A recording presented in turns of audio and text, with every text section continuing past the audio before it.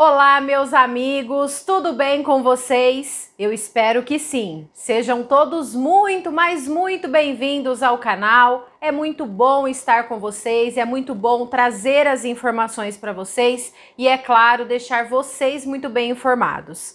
Nesse vídeo, pessoal, eu trago um assunto de extrema importância.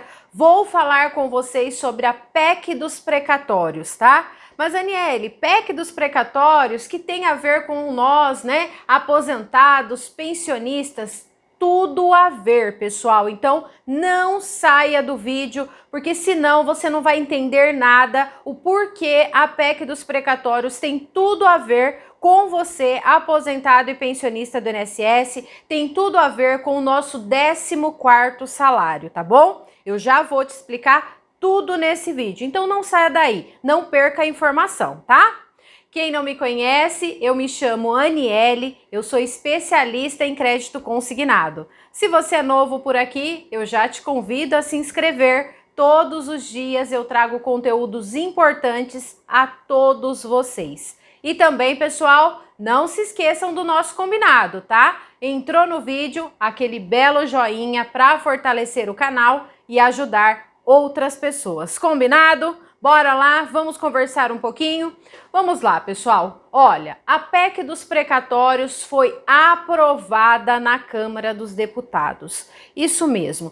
Conseguiram aprovar a PEC dos precatórios. Eu vou explicar bem detalhadamente o que tudo isso tem a ver com vocês, aposentados, pensionistas, o que tem a ver com o nosso 14º salário, e eu tenho certeza que você vai entender. E de certa forma, pessoal, a PEC dos precatórios aprovada é bom, tá? Eu particularmente sou contra, mas diante de todas as circunstâncias, né, nós temos que olhar com todos os olhos, ou seja, com todas as, as faces possíveis, né? Então eu vou explicar para vocês bem detalhadamente para que vocês entendam. Bom, gente, a PEC dos precatórios, o governo, ele agiu de uma forma bem ardilosa. Por que, que eu estou dizendo isso? Porque antes de colocar a PEC dos precatórios em votação, o que ele fez? Ele simplesmente extinguiu o Bolsa Família. Então, não teria como retornar a pagar, né, o Bolsa Família. Não dava para retornar o programa. Ele tinha extinto o Bolsa Família. E aí o que acontece? É, muitos parlamentares não são a favor da PEC dos precatórios ou a mais conhecida como a PEC do calote, certo?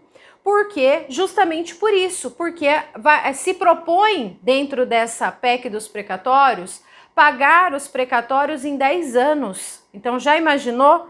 Você demora anos para ganhar a sua ação e quando vai receber, ainda receber de forma parcelada em 10 anos. É muito tempo, não é mesmo?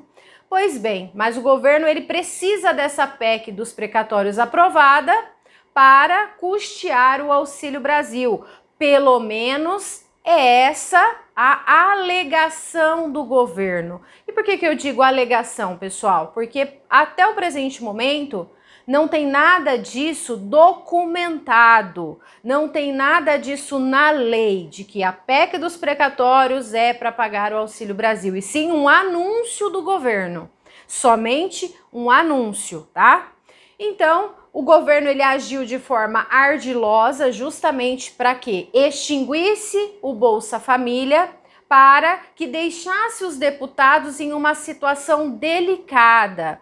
Por que uma situação delicada? Porque quem iria contra uma situação dessa, sabendo que não vai poder voltar o Bolsa Família? Então, muitos deputados votaram a favor, sendo contra. Já imaginou uma situação dessa? Por quê? São milhares de famílias que podem passar necessidade caso a PEC dos precatórios não fosse aprovada. Então, hoje, na nossa sessão, na nossa votação do 14º salário, isso ficou nítido, tá, gente? Ficou nítido. Muitos deputados até mesmo falaram que votou sim a favor, mas não eram a favor, mas também não iriam contra e deixar milhares de pessoas desamparadas, não é mesmo? Então, pessoal, o que isso tudo tem a ver com o nosso 14?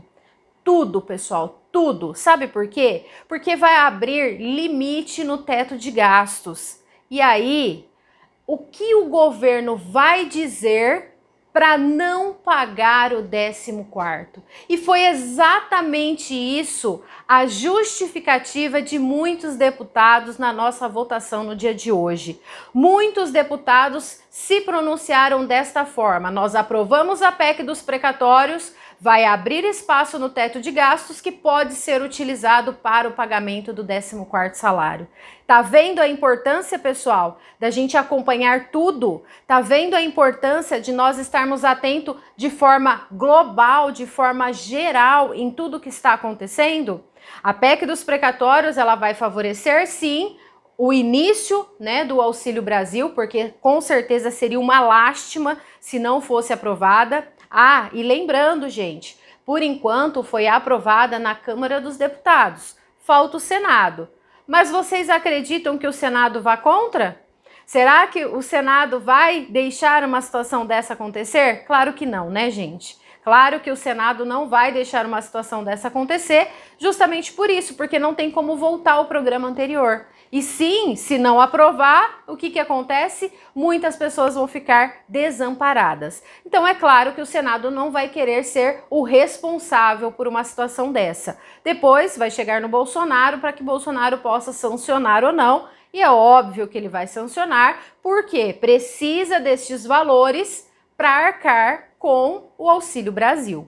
E hoje, na nossa sessão, isso ficou nítido. Muitos deputados falaram a mesma coisa. Aprovamos a PEC dos precatórios, abre espaço no teto de gastos, então tem condições de pagar e de forma segura esse 14 quarto, que aliás é um benefício temporário, não é uma despesa fixa, e sim temporária. Então, pessoal, olha que maravilha, mais uma vez, tá? Mais uma vez nós estamos tendo a comprovação de que recursos para pagar o 14º salário tem. E a situação de agora, ó, foi um prato cheio pra gente, tá? Como eu disse, não sou a favor porque muitos aposentados, muitos pensionistas que têm precatórios para receber, terá que receber de forma parcelada. Mas por outro lado, nós temos que olhar de todos os, todos os lados, não é verdade? Para que a gente possa enxergar sempre em alguma situação desagradável,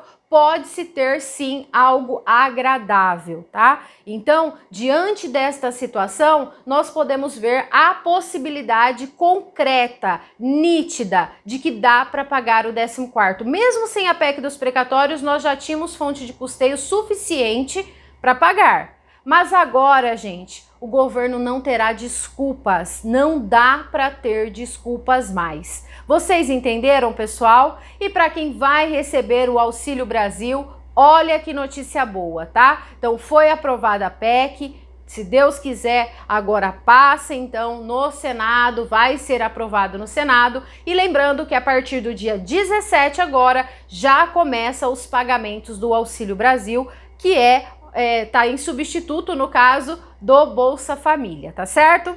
Vocês entenderam, meus amores? Olha que coisa boa, né? Desculpa, não tem mais. Agora é rumo à vitória. Se Deus quiser, na próxima semana teremos coisa boa, tá bom? Muito obrigada, pessoal, e até o próximo vídeo. Tchau, tchau!